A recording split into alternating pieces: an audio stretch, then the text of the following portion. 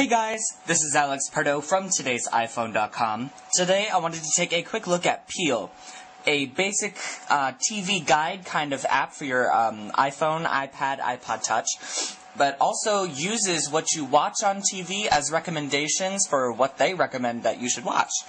So basically, as it's set up right now, if you can see at the top, I wonder if you can, um, today, it's about 6.30 p.m. right now. So today at 6.30, these are the things that are playing. As of right now, these are top picks from um, all of the channels that I have on my television. When you first get the application, it will ask you which provider you have.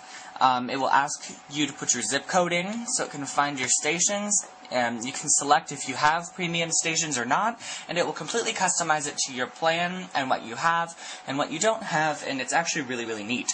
So if I wanted to find out which station Scary Movie 4 was on, I would tap on Scary Movie 4.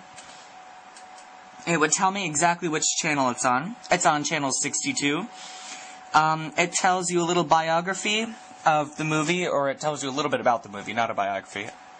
All those cool, cool little things. Now we go back, and let's say I want to just look through TV shows, see what's playing right now at 6.30. I can go through and change it to 7 o'clock. Or 7.30, anything. Basically, it's like a TV guide on your iPhone. It's really, really neat, isn't it? Uh, you can check out uh, specific movies, sports channels, or you can search for things. Let's search for I don't know, Glee. Glee's pretty awesome, right? Alright, we'll tell you what comes on uh, next Tuesday and which time it's on. So basically, it is TV Guide for your iPhone, iPod Touch. Um, it gives little tidbits about what um, every show or every movie or every sports channel is about. It can tell you exactly which channel things are on.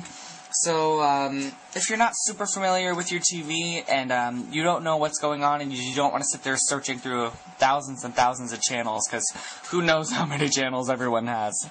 I have about a thousand myself, and it's kind of ridiculous how you can have a thousand channels but nothing to watch. All in all, I really did like Peel.